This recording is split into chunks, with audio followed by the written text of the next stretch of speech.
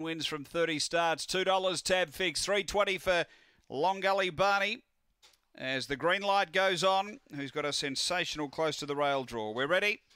Mixed graded two, three, and four. They're racing. Speed coming early from Long Gully Barney's going to push on hard and get the front.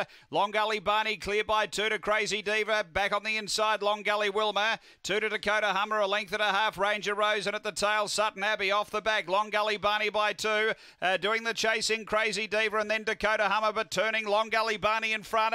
Clear of Crazy Diva all the way. Long Gully Barney uh, beats Crazy Diva. Third Dakota Hummer and fourth Ranger Rose. Uh, then Long Gully Wilmer and Sutton Abbey was back at the tail end. The time here is around 22.80. In fact, exactly 22.80 the run. Number two, Long Gully Barney. He's been too good.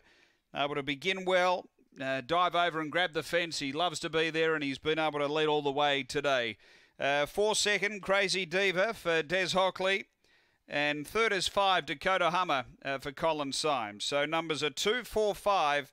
Uh, eight is fourth home after race number 11 here at Gawler Greyhounds.